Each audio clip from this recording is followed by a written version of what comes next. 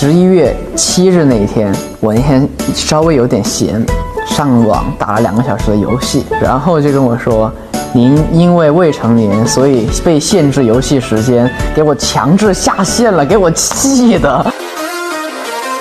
然后我就发了朋友圈，那个游戏公司他们老大就看到我朋友圈，他就发，他说你还没有成年啊？我说是。